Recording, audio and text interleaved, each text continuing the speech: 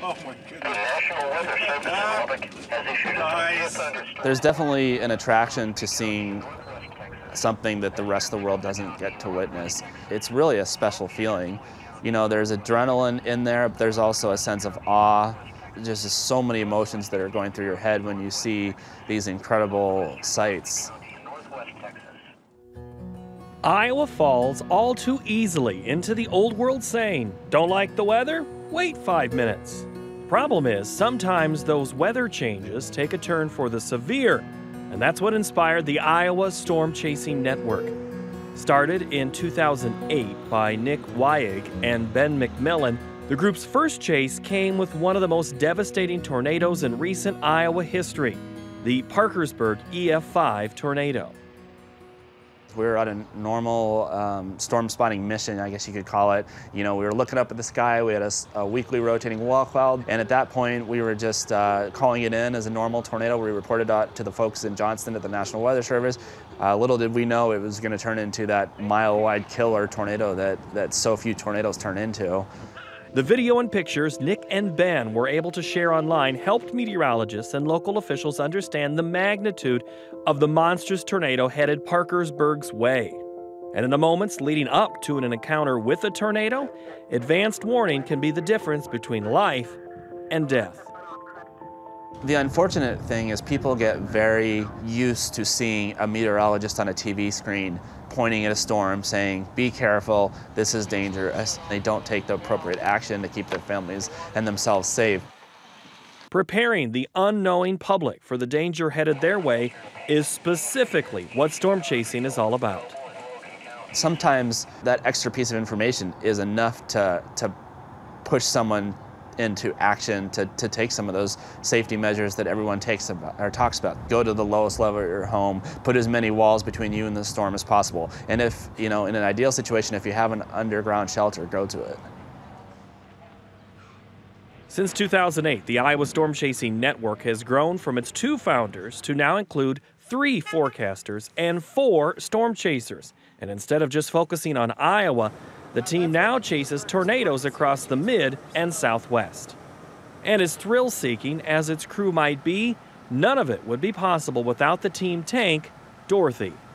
It's a tornado intercept vehicle. Uh, it's built to withstand strong winds. Uh, it has flaps that goes down to the ground and anchors it. Uh, the windows are a half inch polycarbonate, so the windows are bulletproof. And then it has a quarter inch Line-X coating, which will stop a nine millimeter bullet alone. So there's a lot of armor between us and the outside. And we have a 2013 Ford Explorer, which has all our live streaming capabilities and is our forecasting operations basically on the road. We want to document tornadoes and we want to get the word out about them. And we, we don't want to see the violent ones, but they're part of the picture. They're part of what we do. And we can't, you know, expect just because we don't want to see something, something not to happen. We just got to be prepared for whatever comes our way. And in the end, I think, you know, you just have to, it's either you quit if you don't want to see it anymore or you keep going and you deal with it. Chasers do end up seeing some truly historic weather. We tracked a storm uh, that started around Stanton, Nebraska, and it had a large, you know, mile-wide tornado on the ground, something we've seen before. But what happened next was, was really quite historic and, and something we'd never seen before. It actually formed a second tornado as the storm moved east near the town of Pilger. So we had two strong tornadoes, you know, turning across the countryside, and they were rated EF4, which is the second strongest tornado on the uh, scale in terms of how we rate these things. You know, in terms of the release of energy that was happening off the Earth's surface that day, in my opinion, it was unprecedented. It's something I'd never seen. While some tornadoes are awe inspiring, others are hair raising and ultimately lethal weather events, including the 2013 tornado that nearly leveled the town of Moore, Oklahoma. Moore was probably the hardest tornado I have ever seen because I saw it coming from a long way away. And you see this thing develop out in the country. You see it on the horizon coming towards you.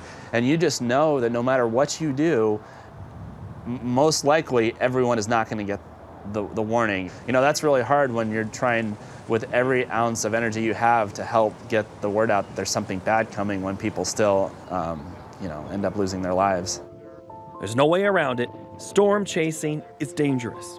Whether it's driving into 250 mile per hour winds or dodging debris rocketing out of a tornado, storm chasers are risking their lives gathering weather data.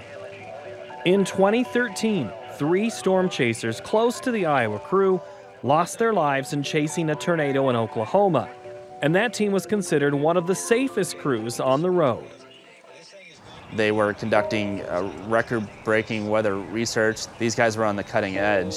You know, no one ever in a million years expected what happened, and to this day, I think we're all still trying to deal with it it affected our team very uh, deeply. And so after that, you know, we tried to continue on their legacy on our dashboard. Beginning of every storm chase season, Tim would put a cheeseburger on his dashboard and he would take it off as soon as he saw a tornado. So, and uh, in memory of Tim, until we see a tornado, then that cheeseburger will be removed from our dash. Knowing firsthand the risks that come driving headlong into a tornado's path, the Iowa Storm Chasing Network continues its work. There's simply nothing like being a storm chaser. You know, Mother Nature produces some spectacular views, and being a storm chaser, less than 5% of people get to see what we get to see in our lifetime. So it's an amazing opportunity to be a storm chaser. For Market to Market, I'm Paul Yeager.